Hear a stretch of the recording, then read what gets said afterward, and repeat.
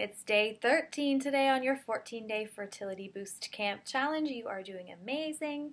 I'm Dr. Elizabeth Cherevaty. I'm a naturopathic doctor and a natural fertility expert and the creator of the Fertility Empowerment Program. And I'm really excited to bring you day 13's challenge today.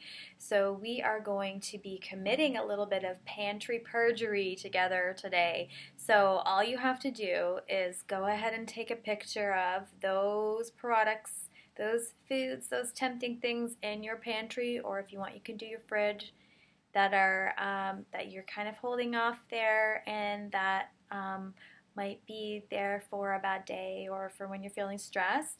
And they are full of sugar or chemicals or you know they're not appropriate for you for your fertility diet and your fertility journey.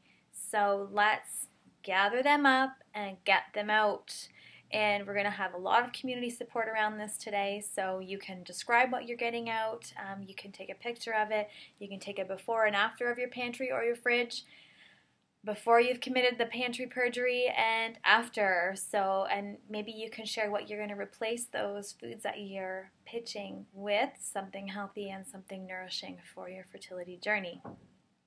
I'm really proud of you for making it this far. This stage is hard, but this is exciting, and we're getting ready for you to be fully prepped for a fertility cleanse.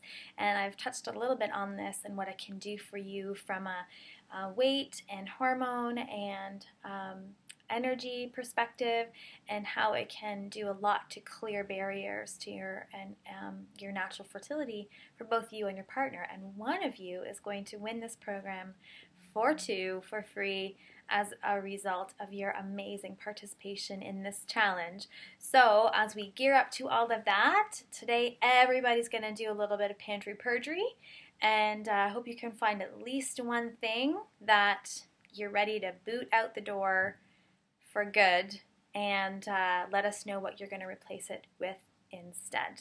Good luck.